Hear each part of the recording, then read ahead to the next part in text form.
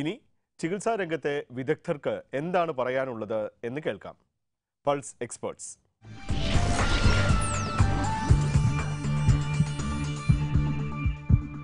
വയറ്റിനുള്ളിൽ പലതരത്തിലുള്ള മുഴകൾ ഉണ്ടാകാറുണ്ട്. അസാധാരണമല്ലാതെ തന്നെ പിത്താശയത്തിലും മറ്റും കല്ലും കാണാറുണ്ട്. വയറ്റിനുള്ളിലുള്ള മുഴകൾ ഏതൊക്കെ? എപ്പോഴാണ് ശസ്ത്രക്രിയ ചെയ്യേണ്ടത്? ഏത് തരത്തിലുള്ള ശസ്ത്രക്രിയ ആയിരിക്കാം നല്ലത്? ഇതേക്കുറിച്ച് പറയുവാൻ നമ്മളോടൊപ്പമുള്ളത് കോഴിക്കോട്ടെ കൺസൾട്ടന്റ് ഗാസ്ട്രോ സർജനായ ഡോക്ടർ രാജേഷ് നമ്പ്യാനാണ് ഡോക്ടർ ഒരുപക്ഷെ ശരീരത്തിൽ ഏറ്റവും അധികം ശസ്ത്രക്രിയ നടക്കുന്ന ഒരു അവയവം വയറായിരിക്കും. ഉദരഭാഗത്താണ് പലപ്പോഴും ശസ്ത്രക്രിയ നടത്തുന്നത്. മിക്കവാറും പേർക്ക് എവിടെയെങ്കിലും ഒരു വെട്ടുണ്ടാകാം. ഒന്നുകിൽ അപ്പൻഡിക്സിന് മുകളിലോ അല്ലെങ്കിൽ പിത്താശയത്തിന് മുകളിലോ. സാധാരണ എന്തുകൊണ്ടാണ് വയറ്റിനുള്ളിലുള്ള മുഴകൾക്ക് പലപ്പോഴും ശസ്ത്രക്രിയ തന്നെ വേണ്ടി വരുന്നത്? ഏതൊക്കെ മുഴകളാണ് വയറ്റിൽ സാധാരണ? അതായത് മുഴകൾക്ക് ഉള്ള ട്രീറ്റ്മെന്റിൽ ഇപ്പം ക്യാൻസർ രോഗം എടുത്ത് നോക്കിയാൽ റേഡിയോ തെറപ്പി കീമോതെറപ്പി സർജറി ഇത് മൂന്നുമാണ് ട്രീറ്റ്മെന്റ് ഉള്ളത്. അപ്പോൾ വയറ്റിൽ എന്താണെന്ന് വെച്ചാൽ ഒരുപാട് ഓർഗൻസ് ഉള്ളതുകൊണ്ട് നമുക്ക് റേഡിയേഷൻ കൊടുക്കാൻ ഒരു ലിമിറ്റ് ഉണ്ട് കീമോതെറപ്പി ചിലപ്പോൾ നമുക്ക് ആവശ്യമുള്ള എഫക്റ്റ് കിട്ടിക്കൊള്ളുന്നില്ല അതുകൊണ്ടാണ് you most of the time നമുക്ക് മുഴകൾ വരുമ്പോൾ സർജറി ആവശ്യം വരുന്നത്. ഓക്കെ. അപ്പം അതിനർത്ഥം വയറ്റിലെ എല്ലാ മുഴകളും ക്യാൻസർ ആണെന്നാണോ എല്ലാ എല്ലാ മുഴകളും ക്യാൻസർ ക്യാൻസർ അല്ലാത്ത പലതരം മുഴകളുണ്ട്. പക്ഷേ യൂഷ്വലി സർജറി ചെയ്യേണ്ടി വരുന്നത് പലപ്പോഴും ക്യാൻസർ പോലുള്ള മുഴകളാണ്. വയറ്റിനകത്ത് പലപ്പോഴും വയറുവേദനയായിട്ടാണ് പേഷ്യന്റ് ഡോക്ടറിന്റെ അടുത്ത് എത്തുന്നത്. ഒന്നുകിൽ അത് കിഡ്നിയിൽ കല്ലാകാം അല്ലെങ്കിൽ അപ്പൻഡിക്സ് പഴുക്കുന്നതാകാം അല്ലെങ്കിൽ പിത്താശയത്തിൽ കല്ലാകാം അല്ലെങ്കിൽ പിത്താശയം പഴുക്കുന്നതാകാം. സാധാരണഗതിയിൽ ഏതൊക്കെ അവയവങ്ങൾക്കാണ് വയറ്റിനുള്ളിലുള്ള ഏതൊക്കെ അവയവങ്ങൾക്കാണ് ശസ്ത്രക്രിയ വേണ്ടി വരാറ്?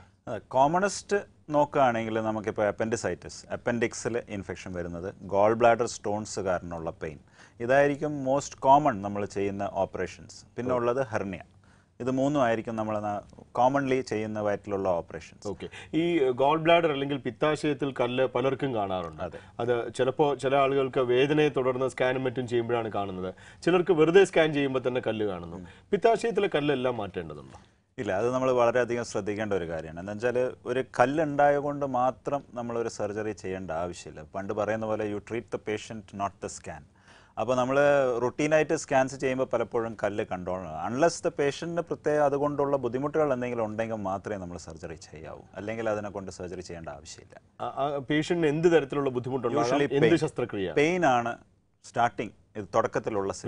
വേദന ഉണ്ടാവും. പിന്നെ വേദന നമ്മൾ ശ്രദ്ധിക്കാതാവുമ്പോൾ പിന്നെ വരാവുന്നത് ഇപ്പോൾ പാൻക്രിയാസിലെ നീർക്കെട്ട് അല്ലെങ്കിൽ ജോണ്ടിസ് ഇത് രണ്ടുമാണ് പിന്നീട് ഇതിന്റെ ഒരു കോംപ്ലിക്കേഷൻ ആയിട്ട് വരാൻ സാധ്യത ഈ പിത്താശയത്തിലെ കല്ല്. പിത്താശയത്തിലെ കല്ല് കാരണം. അങ്ങനെയാണെങ്കിൽ പിത്താശയമാണോ എടുത്തു മാറ്റുന്നത്? കല്ലുകളാണോ ഇല്ല. പിത്താശയം കംപ്ലീറ്റ് ആയിട്ട് നീക്കം ചെയ്യണം. അത് ജനറലി നമുക്ക് കല്ല് വന്നു കഴിഞ്ഞാൽ പിത്താശയം പ്രവർത്തിക്കുന്നില്ല എന്ന അർത്ഥം. അപ്പോൾ നമുക്ക് കല്ല് മാത്രം എടുത്ത് മാറ്റിയാൽ അത് വീണ്ടും കല്ല് ഫോം ചെയ്യുമെന്ന് ഉറപ്പാണ്. അപ്പോൾ കംപ്ലീറ്റ് പിത്താശയവും കല്ലും ഒന്നിച്ച് എടുത്ത് മാറ്റണം. അതിന് വയറ് തുറന്നാണോ ചെയ്യുന്നത് അതോ ലാപ്രോസ്കോപ്പി വഴി കൊള്ളിലിട്ടാണോ ഇപ്പോഴത്തെ കാലത്ത് നമ്മളിപ്പം ഓപ്പൺ സർജറി ചെയ്യേണ്ട ഒരു ആവശ്യമില്ല. അതായത് almost hundred percent of the gall bladders നമുക്ക് ലാപ്രോസ്കോപ്പി തന്നെ ചെയ്യാൻ പറ്റും. ഓപ്പൺ സർജറി ചെയ്യേണ്ട ആവശ്യമില്ല ലാപ്രോസ്കോപ്പിയിൽ എന്താണ് ചെയ്യുന്നത്? അതുകൊണ്ട് എന്താണ് ഗുണം? അല്ല ഓപ്പറേഷൻ ഇപ്പോൾ ലാപ്രോസ്കോപ്പിയിൽ പ്രത്യേകം നമ്മൾ മനസ്സിലാക്കേണ്ടതെന്ന് വെച്ചാൽ ഓപ്പറേഷൻ എപ്പോഴും ഒന്നാണ്. ഓപ്പറേഷൻ മാറുന്നില്ല. നമ്മൾ ലാപ്രോസ്കോപ്പി ചെയ്യുന്നുണ്ട്. ഓൺലി അതിന്റെ ആക്സസ് അതായത് നമ്മൾ അകത്തേക്ക് പോകുന്നതിന്റെ വഴി അത് മാത്രമേ ചേഞ്ച് ആവുന്നുള്ളൂ. അപ്പോൾ ഓപ്പൺ സർജറിയിൽ നമ്മൾ വലിയൊരു മുറിവാക്കി അതിൽ ഉള്ളിൽ പോകുന്നതിന്റെ പകരം നമ്മൾ മൂന്നാൽ ചെറിയ ദ്വാരങ്ങളാക്കിയിട്ട് അതിൽ കൂടി ഇൻസ്ട്രുമെന്റ്സ് ഇട്ടിട്ടാണ് ഓപ്പറേഷൻ ചെയ്യുന്നത്. അപ്പോൾ അങ്ങനെയാണെന്നുണ്ടെങ്കിൽ അത് പെട്ടെന്ന് ഉണങ്ങാനും അതുപോലെ സ്കാറൊക്കെ അതിന്റെ ബെനിഫിറ്റ്സ് എന്താണെന്ന് വെച്ചാൽ ഒന്ന് മുറിവില്ല. അതായത് വയറ്റിൽ വലിയൊരു ഇൻസിഷനും അതിന്റെ സ്കാറില്ല പേഷ്യന്റ് പെട്ടെന്ന് ഓൾമോസ്റ്റ് നെക്സ്റ്റ് ഡേ നമുക്ക് വീട്ടിലേക്ക് പറഞ്ഞേക്കാൻ പറ്റും ഡിസ്ചാർജ് ചെയ്യാൻ പറ്റും. മറ്റേ ഓപ്പൺ സർജറി ആണെങ്കിൽ ഒരു മൂന്നാൽ ദിവസം ഹോസ്പിറ്റലിൽ കിടന്ന് പിന്നെ മുറിവിന്റെ കോംപ്ലിക്കേഷൻസ് എല്ലാം വരാൻ സാധ്യതയുണ്ട്. അപ്പോൾ അതുകൊണ്ട് പിന്നെ പിത്താശയത്തിൽ കല്ലുകളുണ്ട്. പ്രത്യേകിച്ച് അത് ലക്ഷണങ്ങൾ തീവ്രമായി ഉണ്ടാക്കുന്നെങ്കിൽ ലാപ്രോസ്കോപ്പി വഴി നീക്കം ചെയ്യുന്നതാണ് ഇന്നത്തെ കാലത്ത് കൂടുതൽ ഭംഗിയായി നമുക്ക് ചെയ്യാൻ സാധിക്കുന്നത്. ഡോക്ടർ ക്യാൻസറുകളെ കുറിച്ച് സൂചിപ്പിച്ചു. ഈ പിന്നെ പ്ര- പ്രത്യേകിച്ച് കുടലിലും മറ്റും ഇടയ്ക്കിടയ്ക്കെങ്കിലും ക്യാൻസർ കാണാറുണ്ട്. ഈ വൻകുടലിലും മറ്റും. ഇത്തരത്തിലുള്ള ക്യാൻസറുകൾ ശസ്ത്രക്രിയ വഴി നീക്കം ചെയ്യുക സാധ്യമാണോ? അത് ചികിത്സിച്ച് ഭേദമാക്കാൻ സാധിക്കുമോ? അതെ അതായത് എല്ലാത്തിനും അതിന്റെ ആണ് പ്രധാനം. അപ്പോൾ ഒരു ക്യാൻസർ വരുമ്പോൾ നമ്മൾ കണ്ടുപിടിക്കുമ്പോൾ ഉള്ളൊരു സ്റ്റേജ് അത് സ്പ്രെഡ് ആയിട്ടുണ്ടോ? അതോ അത് കുടലിൽ മാത്രമാണോ ഇത് വെച്ചിട്ടായിരിക്കും നമ്മളെ ഫ്യൂച്ചർ റിസൾട്ട്സ് നമുക്ക് മനസ്സിലാക്കാൻ പറ്റുക. അപ്പോൾ അത് കുടലിൽ മാത്രമാണ് ഒരു സ്റ്റേജ് വൺ സ്റ്റേജ് ടു ആകുമ്പോൾ നമുക്ക് ക്യൂർ റേറ്റ് വളരെ കൂടുതലാണ്. അതായത് almost sixty percent of the patients completely cured ആവാൻ സാധ്യതയുണ്ട്. അതേസമയത്ത് സ്റ്റേജ് ത്രീയിലേക്ക് എത്തുമ്പോൾ ആ percentage forty thirty to forty ആയി. ആൻഡ് സ്റ്റേജ് ഫോർ ആയി കഴിഞ്ഞാൽ almost zero to five percent ആണ് നമുക്ക് ക്യൂർ റേറ്റ് ഈ വയറിനുള്ളിൽ പലപ്പോഴും ഇപ്പം ആൾക്കാർ തടവി നോക്കുമ്പോഴും പിടിച്ചു നോക്കുമ്പോഴൊക്കെ ഒരു കട്ടി പോലെ മുഴ പോലെയോ ഒക്കെ തോന്നുമ്പോൾ പലർക്കും ഉള്ളൊരു ഒരു ഒരു സംശയം ക്യാൻസർ ഉണ്ടാകാമോ? അല്ലെങ്കിൽ വയറ്റിനകത്ത് കാണാനും യാതൊരു നിവൃത്തിയില്ല.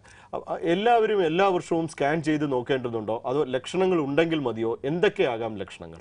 അല്ല നമ്മൾ സ്കാൻ എന്ന് പറയുമ്പോൾ പലതരം സ്കാൻസ് ഉണ്ട്. ഒന്ന് അൾട്രാസൗണ്ട് സി ടി അങ്ങനെ പലതരം ദ പ്രോബ്ലം ഇസ് സ്കാൻസ് ഒരു കുടലിന്റെ ഉള്ളിലുള്ളൊരു മുഴ കണ്ടുപിടിക്കാൻ സ്കാൻസ് വളരെ സെൻസിറ്റിവിറ്റി വളരെ കുറവാണ്.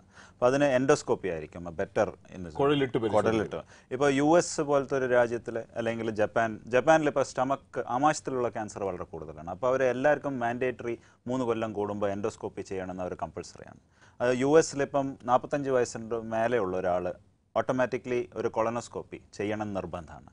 അപ്പോൾ ഓരോ സ്ഥലത്തുള്ള പ്രിവലൻസ് വെച്ച് നോക്കിയിട്ടാണ് അവർ സജസ്റ്റ് ചെയ്യുക. പക്ഷേ നമ്മുടെ നാട്ടിൽ എന്താ വെച്ചാൽ ഇത് പോപ്പുലേഷൻ അത്രയും കൂടുതലായതുകൊണ്ട് നമുക്കതൊരു പ്രാക്ടിക്കൽ ഓപ്ഷൻ അല്ല.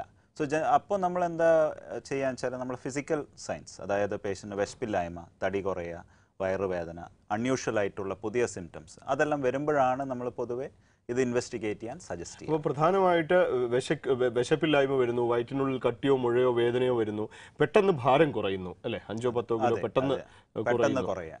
അപ്പോൾ ഇത്തരത്തിൽ എന്തെങ്കിലും ലക്ഷണം ഉണ്ടെങ്കിൽ തീർച്ചയായിട്ടും ഒരു ഒരു ഗ്യാസ്ട്രോ സർജനെയോ അല്ലെങ്കിൽ ഗ്യാസ്ട്രോസിനെയോ കാണുകയും സ്കാനോ അല്ലെങ്കിൽ എൻഡോസ്കോപ്പിയോ അല്ലെങ്കിൽ വൻകുടലിലേക്ക് കുഴൽ കടത്തുന്ന കൊളനോസ്കോപ്പിയോ ഒക്കെ ചെയ്യുകയും അഥവാ മുഴയുണ്ടെങ്കിൽ ആരംഭത്തിൽ തന്നെ ചികിത്സിക്കുകയാണെങ്കിൽ പലപ്പോഴും ശസ്ത്രക്രിയ വഴി മിക്കവാറുമുള്ള മുഴകളൊക്കെ നമുക്ക് പൂർണമായി തന്നെ ചികിത്സിച്ച് ഭേദമാക്കുവാനും സാധിക്കും.